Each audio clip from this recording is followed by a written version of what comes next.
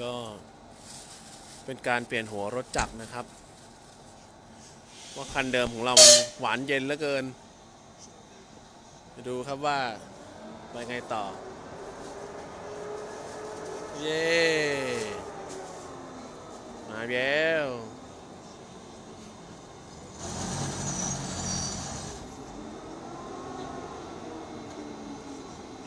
เหมือนใช้ไฟฟ้าตลอดไฟฟ้าลงตลอดเลย ไม่น้ำมันคงแข็งแล้วล่ะอืมนี่ครับ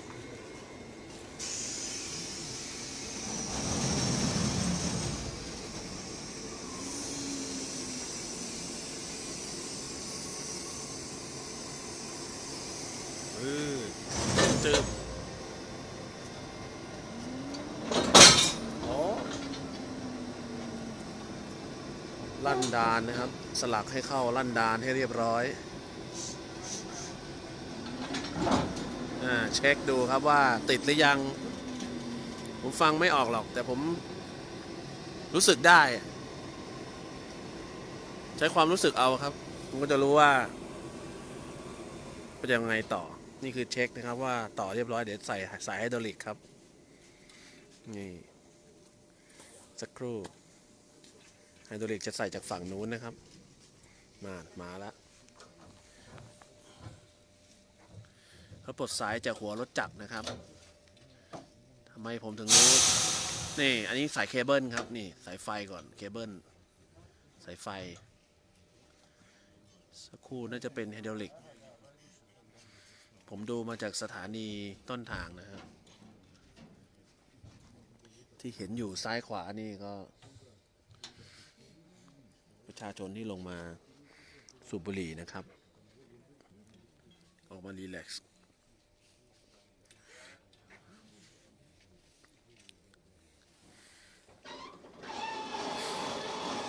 นี่คือสตาร์ทเครื่อง ดับเครื่อง ปิดประตูจากหัวรถจักรด้านหัวเสียบ เดี๋ยวเขาจะไปอีกด้านหนึ่งของหัวเสียบ ดูตามภาพไปแล้วนะนะฮะบรรยายตามภาพก็ไปขึ้นฝั่งฝั่งหัวขับนะฮะพอขึ้นฝั่งหัวขับเสร็จปุ๊บ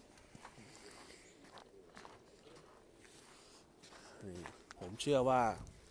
เขาจะต้องมาเสียบสายไฮดรอลิกแน่นอน ชัวร์ไม่ใช่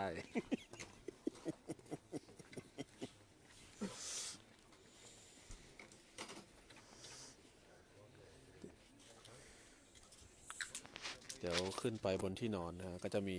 ที่นอนที่นางฟ้าปูเตียงไว้ให้เรียบร้อย นางฟ้าบอกว่าได้เวลานอนแล้ว ก็ทำมือสลีปอะฮะอ๋อบอกคุณต้องปูเตียงแล้วนะ ครับ ฟ้าส่งมา จริงเหรอเออ มันเป็นไปได้ยังไงอะครับ อ่ากรณีนี้นะฮะทางด้านหลักทางสอนของพระพุทธศาสนานั้นนะไม่มีอะไรบังเอิญ ครับ ทุกอย่างก็จะรองรับรับรองในสิ่งที่ ถ้าสรุปเองนะ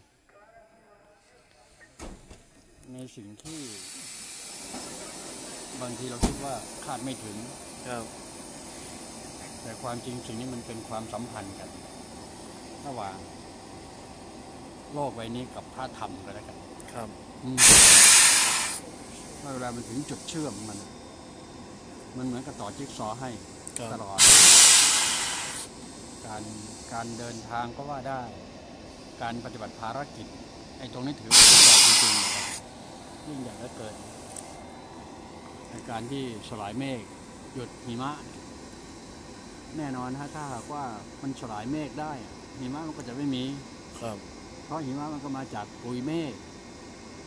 เห็นไหมฮะไอ้ปุยเมฆมันก่อตัวยังไงทีผมก็พยายามบอกอยู่แล้วว่า มันก่อตัวจากนู้นนะฮะอากาศกับอวกาศที่มันต่อเชื่อมกัน ครับเนี่ยไอ้คำว่าเมฆเมฆแม้ว่าจะเป็นเมฆฝน ก็เหมือนกันแหละ กับเมฆหิมะ แต่ฝนกับหิมะมันก็ต่างกัน ถ้าหากเป็นเช่นฝนโฉดก็เป็นมันเป็นก้อนใหญ่ๆคือน้ำฝน แต่เวลาเป็นขั้วโลกเหนือเนี่ย มันมันเป็นฝอยละอองน่ะปลิวมาเหมือนกับดอกพิกุลร่วงล่นลงมาแต่เม็ดเล็กเนาะอืมนะก็แค่นั้นเอง ทีนี้มันมาประกอบความหนาวเย็น อย่าลืมนะความหนาวเย็นเนี่ยมันจะไม่มีความชื้น มีแต่ความแห้งไอ้ความแห้งเนี่ยมันแทนที่จะร้อนนะอย่างเช่นกับว่าร้อนแรงแห้งอย่างเงี้ยครับ ความรู้สึกของคนบ้านเรา มันแห้ง มันจะไม่ร้อนแรงเห็นไหมฮะทีนี้คำว่าแห้งที่นี่มันคืออากาศที่นี่มันไม่มีความชื้น ก็เลยบอกว่าอากาศแห้งนะเนี่ยไอ้คำสองคำเนี่ย ระหว่างคนที่อยู่เส้นศูนย์สูตรกับเส้นอยู่ก็เหนือพูด มันจะมีความหมายต่างกันมันดีแล้วที่เรามาที่นี่เพื่อที่จะมาเชื่อมภาษาเนี้ยให้มันให้มันเข้าใจอะ ถ้าหากว่าเราไม่มาพื้นที่นี้ เราก็จะไม่รู้และจะไม่เข้าใจในการเชื่อมต่อกันทางด้านความรู้สึกมนุษย์ผู้ซึ่งอยู่อาศัยอยู่ในโซนของเส้นศูนย์สูตรศูนย์สูตรก็ง่าย ๆครับ บวกลบเหนือใต้สิบห้าองศา ก็ถือว่าเป็น เขตร้อน ถ้าอบอุ่นก็ขึ้นมาอีกสามสิบองศาสิบห้าถึงสามสิบก็ถือว่าอบอุ่นน่าอย่างเงี้ยถ้าหากว่าก่อนนั้นก็ต้องเย็นก่อนนั้นก็ต้องเย็นใช่ไหมพอสามสิบขึ้นมามันเย็น ถึงหกสิบมันก็หนาวทีเนี้ยหนาวเย็น หกสิบถึงแปดสิบเก้าสิบโอ้โห จะอยู่ได้ไหมเนี่ย ยกเว้นหมีขั้วโลกเหนือมันไม่อยู่กันได้เอสเตอร์โมเขาอยู่ยังไงเนี้ยเรื่องอย่างนี้มันเรื่องการปรับตัวตั้งแต่ออกมาจากราชการของพระราชมารดาเนี่ยก็มาเจออากาศที่มันเยอะก็สามารถปรับตัวได้เพราะว่าไอสิ่งที่มีชีวิตโดยเฉพาะยิ่งสัตว์มันก็มีคุณสมบัติในตัวมันเองนะครับว่าหนึ่ง เกิดมาต้องมีคำว่ากินสองขับถ่ายสามแพร่พันธุ์ขยายพันธุ์สัตว์เล็กตัวเล็กน้อยสัตว์ตัวเล็กตัวน้อยไวรัสไวรอยมันก็แพร่พันธุ์ขยายพันธุ์จุลินทรีย์มันก็แพร่พันธุ์ขยายพันธุ์เช่นเดียวกัน ยิ่งมีขนาดเล็กเท่าไรยิ่งมีการขยายพันธุ์แพร่พันธุ์ได้เร็วอย่างเงี้ยทีนี้พอเวลากลับมาถึงสัตว์ขนาดใหญ่เช่นช้างนี่ก็แล้วกัน มันขยายพันธุ์แพร่พันธุ์ช้า หนึ่งปีตกลูกหนึ่งหรือว่า 5 ปีตกลูกอีกหนึ่งเงี้ยเป็นต้นนะฮะแต่มนุษย์ก็ขยายพันธุ์ปีละหนึ่งนะผมว่าปีท้ายปีก็สองซะประมาณนั้นนะสำหรับคนที่แพร่พันธุ์มากนี้เป็นต้นขยายพันธุ์ไปเรื่อยๆเนี่ยไอความเกี่ยวข้องมองใจกันระหว่างตั้งแต่เริ่มขนาดเล็กมาเป็นขนาดใหญ่ ทุกวันนี้นะฮะทางด้านวิทยาศาสตร์เขาศึกษาเรื่องของขนาดกว้างครับในยุคไอน์สไตน์เนี่ย เขาจะมาศึกษาระหว่างของภาพแมกโคร ในรูปแบบของจักรวาลเอกภพกาแล็กซี่นั้นนะฮะเขาเรียกว่าดาราศาสตร์ กลุ่มดาราศาสตร์นะฮะแต่ถ้าหากว่ากลุ่มใหญ่นั้นก็มาปุ๊บเนี่ยกับตัวเล็กเนี่ยเล็กสุดส่วนนั้นก็ส่วนศึกษาส่วนที่มันเล็กสุดเล็กสุดเนี่ยฮะนาทีนี้เล็กสุดกับใหญ่สุดมันคอคอประเด็ถึงกันแล้ว มันถึงกันแล้วแน่ๆนะฮะคำคำเนี้ยลุงออเป็นคนพูดกันแล้วกัน เล็กสุดๆ กับใหญ่สุดๆ ในเชิงเอกภพนะกับเล็กสุดระหว่างที่บอกว่านิวเคลียสมันถึงกันแล้วพอเวลามันกลับมาถึงกันแล้วจะมาโยงใยยังไงจีเนี่ยเนี่ยกำลังจะโยงใยให้ท่านที่อยู่หน้าจอได้กรุณาพิจารณาเรื่องนี้นะฮะมันมาถึงกันแล้วเล็กสุดสุดๆสุดเล็ก ใหญ่สุดสุดสุดใหญ่มาถึงกันหมดแล้ว จึงมาได้คำว่าค่าคงที่ เออ ค่าคงที่เนี่ยยุคนิวตันเขาจะพูดเป็นภาษาเคมีเอาไว้นะฮะก็คืออีเทอร์อีเทอร์เนี่ยคือค่าคงที่ตามตามนิวตันที่ได้ให้เอาไว้กับชาวโลก แต่พอเรามาถึงยุคของไอน์สไตน์เนี่ยตัดคำว่าอีเทอร์ทิ้งไป เอาความเร็วของแสงมาเป็นค่าคงที่ นะค่าของแสงก็หมายความว่าแสงเคลื่อนที่ด้วยความเร็ว 3 0 0 0 0 0กิโลเมตรต่อวินาทีเนี่ยตัวเลขนี้เป็นตัวเลขตัวประมาณก็เลขเต็มๆแล้วกันมันจะง่ายดีนะครับความจริงไม่ถึง 3 0 0 0 0 0ดีนะครับเนี่ยเขาก็เอาเครื่องของแสงเข้ามาเป็นค่าคงที่กันแต่ทางลูกหอกเวลาเนี่ยค่าคงที่ตรงเนี้ยมันก็เหมือนกับ มันต่อถึงทั้งหมด ดวงดาวทั้งหมดนะฮะ โลกใบนี้อ่าแล้วก็อวกาศนะทั้งหมดมันผืนเดียวกันหมดเลยมันเข้าคงที่นี่เพียงแค่สะบัดแป๊บเดียวคำว่าเข้าคงที่นี่ให้พิจารณาตรงนี้นะครับว่าวิธีการคิดเพื่อพิจารณานะฮะถ้าเรามีกระดาษหนังสือพิมพ์อ่ากว้างหนึ่งเมตร ยาวหนึ่งเมตร โอเคนะ ให้นึกซะว่าทั้งหมดคือ เอกภพนี่เห็นไหมนี่ดวงดาวทั้งหมดอยู่ใน หนังสือพิมพ์ตรงเนี้ยนะดวงอาทิตย์เหมือนกัน โลกเหมือนกัน นี่พอเวลาสะบัดแผ่นหนังสือพิมพ์แป๊บเดียวเองฮะมันสะเทือนเลือดอะไรไปหมด ทุกดวงดาว เนี่ยคำว่าเข้าองทีทีนี้ถามว่าใครล่ะ จะเป็นคนที่ทำตรงนี้ได้ ผมเชื่อมันเกินร้อยนะครับว่า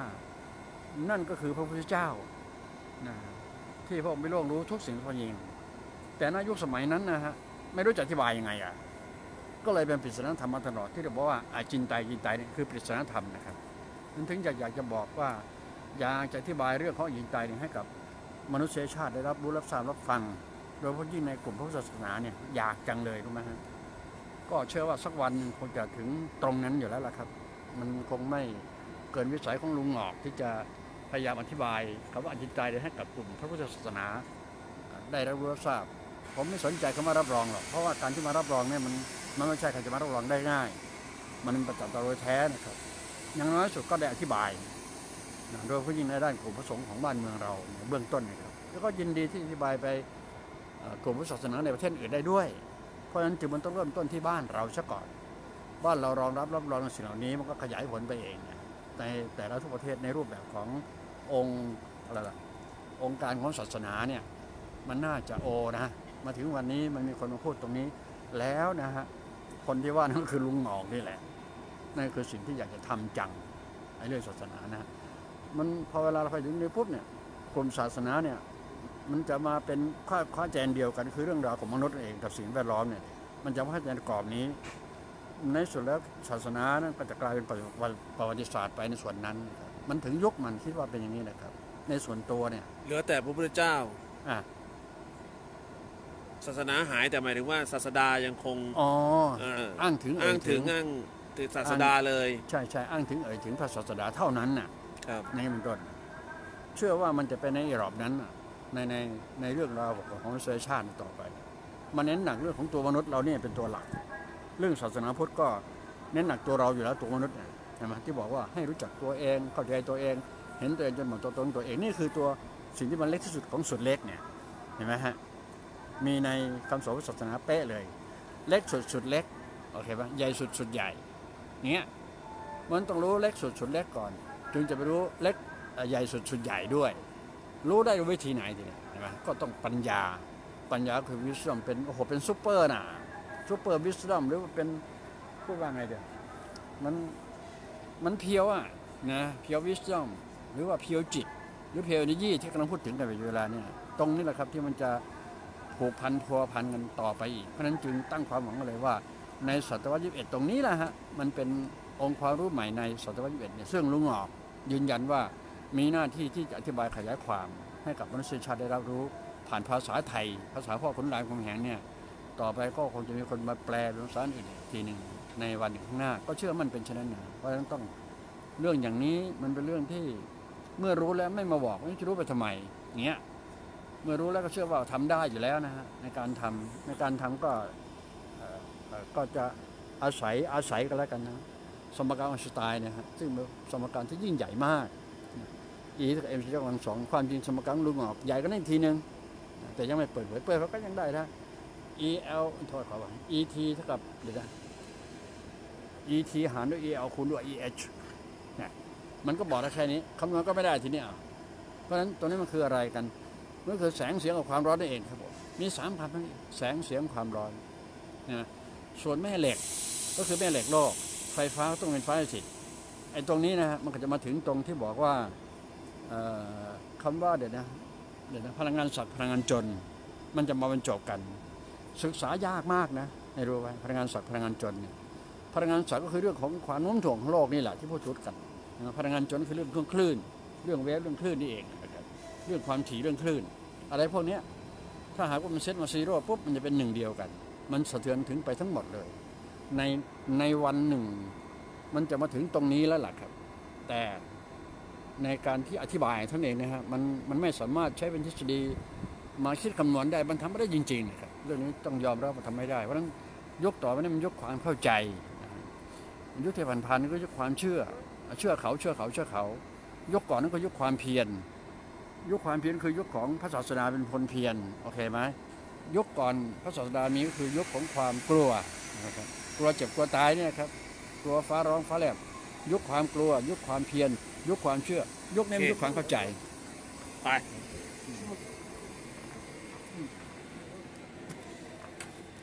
ขึ้นแล้วครับ